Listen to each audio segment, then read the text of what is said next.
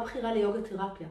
אבל בשיטת העבודה שלי, שאני קוראת לה תו השעה, אני משתמשת גם בתנועה, גם בתזונה וגם בתודעה.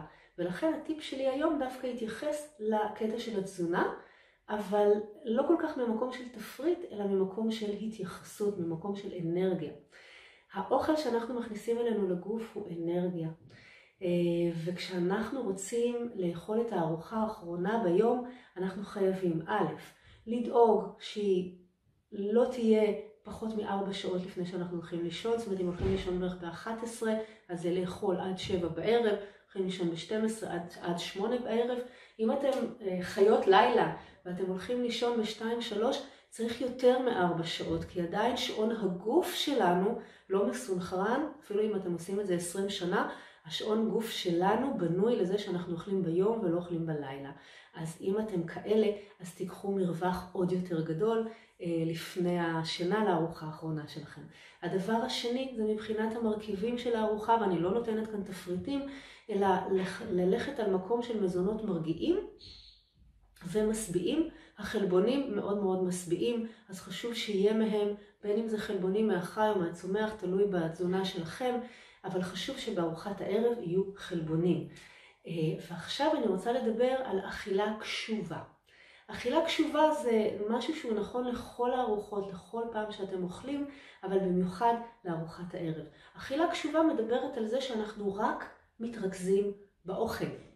הנייד לא לידינו, ואנחנו לא לקחנו במקומו לא עיתון ולא ספר ולא בוהים בטלוויזיה ולא שום דבר. אנחנו עם האוכל. כשאנחנו אוכלים אכילה קשובה, נוח לנו ואפשרי לנו יותר גם להתאים את הכמויות שלנו של האכילה ולא לאכול סתם עוד ועוד ועוד עד שאנחנו מתפוצצים כי לא שמנו לב שאכלנו הרבה. ואכילה קשובה גם מביאה להמון שלווה ורוגע ולשינוי מאוד מאוד משמעותי בחיים. כשאנחנו יושבים מול הצלחת ואנחנו מתבוננים על הצבעוניות שיש בצלחת, על המגוון שיצרנו בצלחת, אנחנו מתרכזים באנרגיה של האוכל שאנחנו מכניסים לתוך הגוף שלנו. כשאנחנו עושים את זה, אז קודם כל אנחנו דואגים שבאמת מה שיש לנו על הצלחת, מה שאנחנו אוכלים, יהיה עם אנרגיה גבוהה ומזינה. לא ג'אנק, לא אוכל תעשייתי, אלא דברים שבאמת יש בהם אנרגיה שבה אנחנו רוצים להזין את עצמנו, את הגוף ואת הנפש שלנו. אכילה קשובה אה, יכולה לעזור לכם לרדת במשקל. אכילה קשובה מאוד מאוד מרגיעה.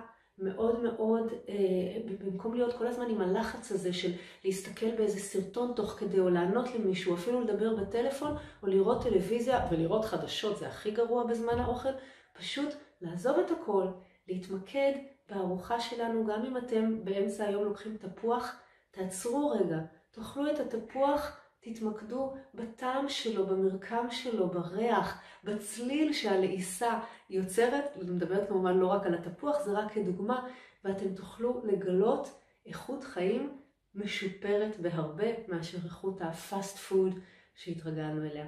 אז אני אבישג אמיר, אני מורה בכירה ליוגה תרפיה, אפשר למצוא אותי גם בפייסבוק וגם ביוטיוב עם סרטונים, עם הדרכות. חפשו, תלחצו ככה על לייק או על אה, הצטרפות למנוי, ואני מחכה לכם שם. להתראות.